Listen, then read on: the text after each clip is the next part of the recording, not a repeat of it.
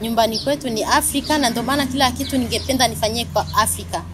E, kama ni project ya kujenga majengo manini, kama ni nyimbo za kufanya, kama ni movie, kila kitu ningependa kabisa nifanyie nyumbani. Simoni simboni nyuma oh, anangwinu na bare yupo Mungu mbinguni Mwimbaji wa nyimbo za Injili kutoka nchini Burundi anayeishi nchini Canada amekuja nchini Tanzania kwa ajili ya uzinduzi wa filamu yake mpya. Sandi Nduimana ni mwimbaji wa nyimbo za Injili kutoka nchini Burundi. Amekuwa akitamba kwa vibao kadhaa ambavyo amefanya hapo Burundi na ameweza kuwashirikisha waimbaji tofauti tofauti kutoka Burundi, lakini amezidi kuonyesha ushirikiano wake na wasanii tofauti tofauti kutoka Afrika ya Mashariki na ameweza kushirikiana na Martha Mwaipaja na kuna wimbo ambao wanadai kwamba wamemshirikisha Bahati Bukuku na kuna nyimbo kadhaa ambazo ameshirikisha wasanii tofauti tofauti kutoka nchini Tanzania.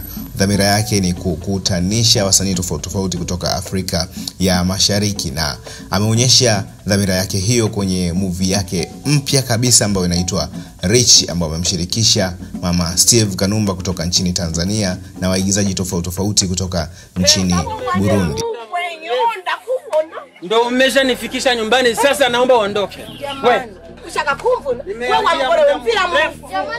anitokee nyumba yangu. Ya kama ya familia mbili, familia ya ya yani familia ya kimaskini pamoja na familia ya, ya kitajiri.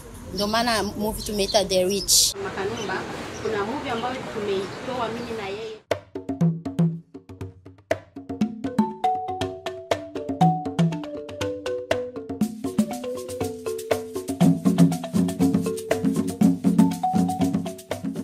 iwafikie watu wengi, kwa sababu ukiangalia Kiswahili watu wengi watasikia. Kenya wataelewa, Burundi pia wataelewa, Tanzania wataelewa, yani East Africa kwa ujumla wataelewa. Ndio maana tukafanya kwa Kiswahili. E, yani unaenda kwa YouTube yangu, YouTube ni Sandi Nduwimana, yani Sandi S A N D Y eh, alafu Nduwimana ni N G U W